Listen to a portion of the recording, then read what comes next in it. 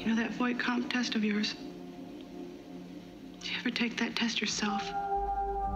So, Blade Runner, if you don't know, was a movie by Ridley Scott set in the near future, and focuses on a society that has created a new class of subhumans called replicants. And replicants are slaves. They handle jobs too gross or dangerous for humans to do, and obviously they're not in love with this arrangement. Let me tell you about my mother. Our protagonist is Rick Deckard, a Blade Runner. Blade Runners are assassins who hunt down escaped slaves and, quote unquote, retire them. And this time, Roy Batty and his gang are the new targets. Short and sweet. If only you could see what I've seen with your eyes. The film is thematically about the troubles of societies and the moral complexities of the citizens within it. What does it even mean to be human, or at least a person? And some of this ambiguity has left room for speculators to question some points that the movie doesn't delve too deep into. Possibly chief among them being, is Deckard a replicant? So let's address some of the evidence that supports that theory. The film introduces the concept of replicants having implanted memories. Implants. Those aren't your memories, they're somebody else's. Deckard's dream of a unicorn, later echoed by Gaff's origami unicorn, suggests that his memories might be artificial. But if Deckard's unicorn dream is supposed to be an implanted memory, then why is he dreaming about mythological beast? Rachel's false memories were of her grandma and of spiders. Is the implication that Deckard believes in unicorns and assumes that he must have seen one to have such a memory? I'd argue that the sequence is more symbolic than literal, and the significance of the dream can be seen as a metaphor for Deckard's pursuit of something elusive or mythical. His own humanity? Eh, more on that later. Another of the arguments for Deckard being a replicant is the presence of his reflective eyes in a certain scene, a visual cue used throughout Blade Runner to indicate a character is a replicant. Notably, during a scene where Deckard stands behind Rachel, both characters exhibit this reflective eye effect. However, this interpretation overlooks a crucial aspect of the film's production. The effect was a result of the lighting and camera techniques employed to create a distinctive look for the replicant's eyes. Ridley Scott and cinematographer Jordan Cronenworth, Cron- Cron- Cronenweth? Cronenweth? Okay, used a technique that could inadvertently cause any character's eyes to reflect light in a similar manner if they were positioned correctly relative to the light source. This means the shiny eyes effect seen in Deckard and Rachel's scene is not definitive proof of Deckard's nature, but rather a byproduct of just the film's visual style. In essence, it's just a technical goof. Fuck it, it's just a movie. Let him worry about it. And ultimately, there's a larger looming piece of evidence. Ridley Scott himself has been quite vocal about his belief that Deckard is a replicant. Do you expect the film to address the, the ongoing debate about whether Deckard is or isn't a replicant? Is that going to come He is definitely a replicant. What I thought was thought. You like that? Yes, I do. That's my. Well, that's what I think. But I know. Did you win money? Now, I, for one, am a big supporter of author intent being paramount to a piece of art's meaning. Who knows better than the creator? But there is a question concerning the stage at which a piece of art no longer belongs to the artist, instead, the people. For instance, if Leonardo da Vinci came back to life and decided he always wanted the Mona Lisa to have a mustache, then how would you feel about that? And your answer probably tells you how important Scott's ideas on the topic are to you. But today I want to offer not whether Deckard is a human or a replicant, but rather why Deckard should be a human, and how it hurts the movie if he's just another replicant. So, let's get into it.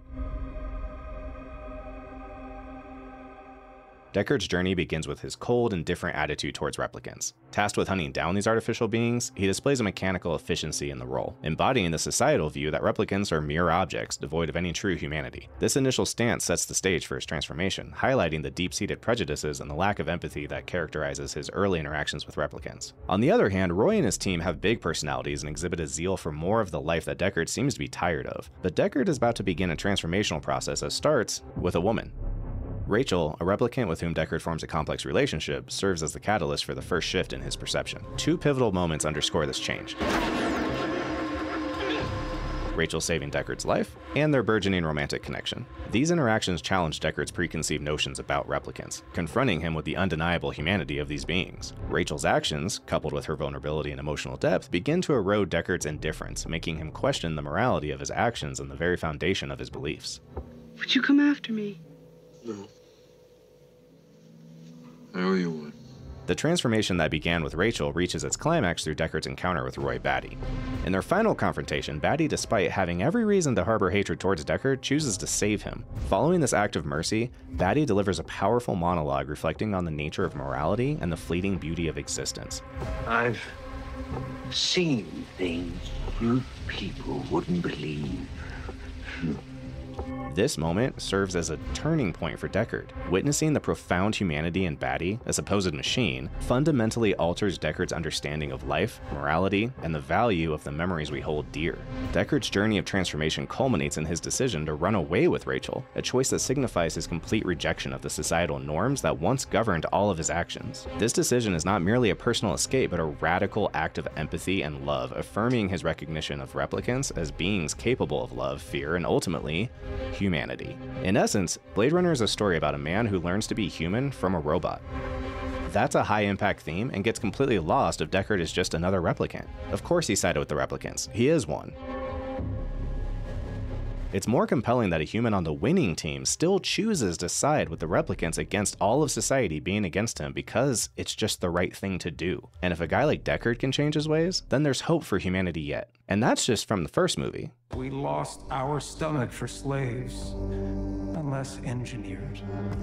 Blade Runner 2049 further explores the consequences of this choice, revealing that Deckard and Rachel's union led to the birth of a child, a testament to the blurring lines between human and replicant. More on that later. For now, let's explore how Deckard being a human helps elevate the choices to make Kay unambiguously a replicant. So if Deckard's story is the evolution from an enforcer of oppression to an ally of the oppressed, then Officer K's journey is the awakening from an indoctrinated slave to a revolutionary. Because you've never seen a miracle.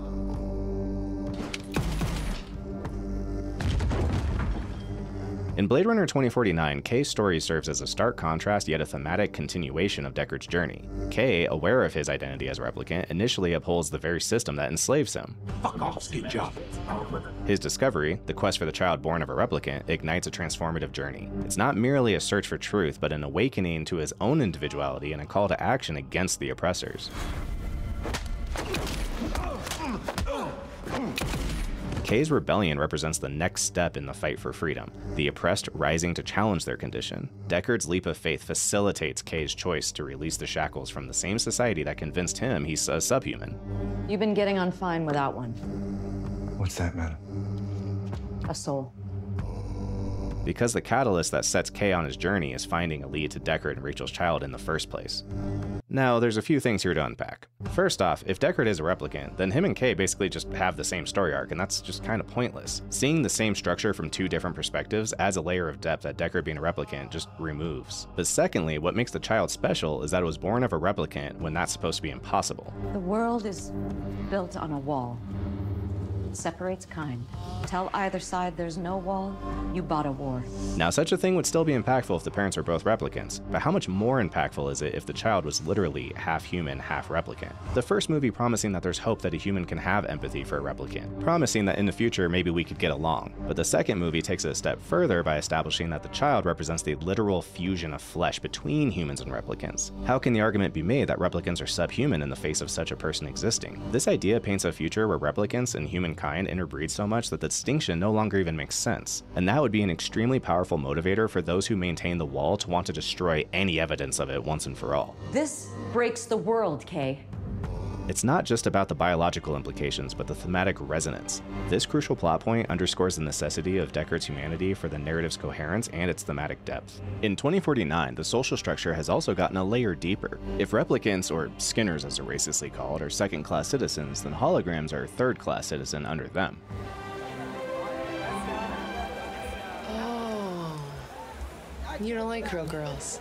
So thematically, it's a perfect line to draw from Deckard being a human who loves a replicant, and then Kay, a replicant who loves a hologram. I mean, the stuff writes itself, come on. The thematic continuity between Blade Runner to Blade Runner 2049 enriches the overarching narrative, creating a layered and nuanced exploration of what it means to be human. Deckard's humanity sets the stage for Kay's journey, providing a foundation from which the sequel builds and expands upon the questions of identity, autonomy, and morality. Without it, I'm just not sure you're left with anything other than a pretty cool cyberpunk romp. And I hope Ridley Scott wanted more than that for his work.